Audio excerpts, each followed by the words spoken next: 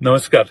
गेल्या काही तासात सकाळपासून पडलेल्या पावसाचा आढावा घेतल्यावर असं लक्षात येत आहे की पहाटे सहाच्या नंतर साधारणपणाने आठच्या नंतर धरा शंभर एक एम एम पाऊस पडलेला आहे. आणि त्यामुळं सांगलीच्या आयर्विन पुलावर बावन्न फुटापर्यंत पाणी पोचेल असं जे आपल्याला वाटत होतं त्यात थोडंसं पाणी पावसाचा ताण कमी झाल्यामुळे आपण कमी सोडलेलं आहे. त्यामुळं पंचेचाळीस सेहेचाळीस फुटापर्यंत मॅक्सिमम पाणीचं नियोजन आपण करतोय. उद्देश हा आहे की अधिक सांगली शहर पाण्याखाली जाऊ नये. म्हणून त्यात काही थोडासा कंट्रोल करण्याचा प्रयत्न आपण केलेला आहे.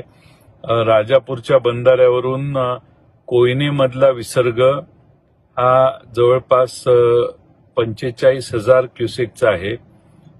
सातारा जिल्ह्यातल्या चार धरणं आणि कोयना असं धरून हा सर्व विसर्ग हा जवळपास एक लाख क्युसेकचा आहे.